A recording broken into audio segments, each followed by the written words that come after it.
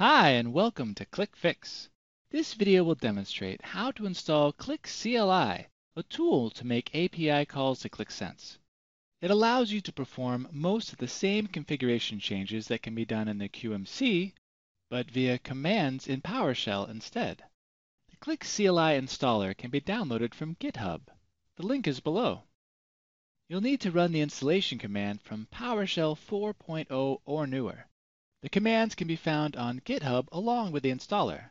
First, download the installer files from here. They will need to be unzipped to this folder under Program Files, Windows PowerShell, Modules. Next, open the PowerShell console with administrator rights. The first command is to set the execution policy. Next, be sure to run the install commands from the Qlik CLI folder. And run the list of commands as documented import the Qlik CLI module. Yes to all? The installation has completed. To verify the installation was successful, from the View menu, set PowerShell to Show Command Add-ons. In the drop-down, Qlik CLI should be an option now. There is the Qlik CLI module. All of the Qlik CLI commands are listed here.